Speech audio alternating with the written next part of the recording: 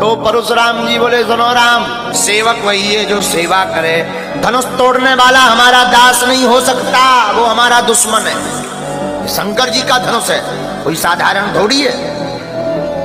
लक्ष्मण जी, राम जी से बोले, ये ये तुम्हारे विषय के नहीं है, ये हमारे विषय के हैं, टीचर। इनको हम समझाएँगे, आप बैठो। राम जी बोले आफत मत करवाओ। अरे लक्ष्मण जी बोले, जो जैसी भाषा समझता है, उसको वैसी बात करनी चाहिए। ये तुम्हारी पढ़ाई वाले नहीं, आप बैठो इन्हें को हम समझाते हैं।